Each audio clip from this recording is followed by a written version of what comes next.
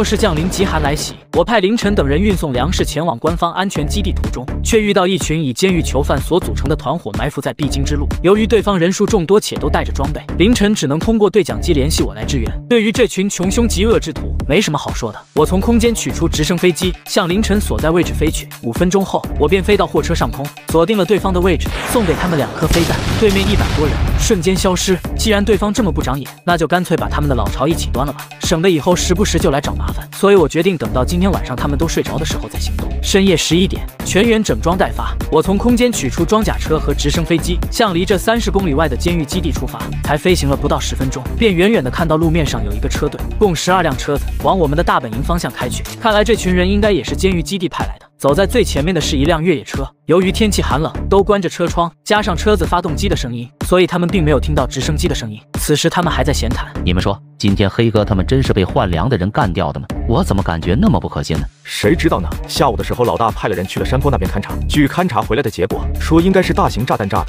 如果是这样的话，那就应该是官方基地的人干的。毕竟换粮车队的人怎么可能有导弹呢？难说，官方早看我们不顺眼了，极有可能已经和换粮车队的人合作了。这不会吧？他们要是真合作了，就麻烦了。但是官方基地的人就够我们喝一壶的。不过如果真是这样，是不是说明换粮车队也不见得多厉害？不然怎么会寻求合作？你还真是天真，敢拿那么多粮食出来招摇的人，怎么可能只是普通人？按你这样说，那我们不是很危险？我们也才八十人而已，我们是夜袭，打他们个措手不及，问题应该不大。而且老大下午就派人一直盯着官方基地那边，基地并没有派人员出动，所以现在山上应该就只有换粮车队的几人。再往前开几公里，我们就下车步行前进，以免打草惊蛇。这时，副驾男突然觉察不对劲，你们有没有听到什么声音？怎么感觉有直升机的声音？然而我并没有给他们思考的机会，哐哐几下，这个准备夜袭的车队便不复存在。由于凌晨他们开着坦克，所以速度比较慢，因此我降低飞行速度，等他们跟上来。而此时的监狱基地负一层，一个大概四十多岁的男人，此时脸上有些阴沉，他便是基地长川仔。你说上午咱们的人真是被官方基地的人搞的吗？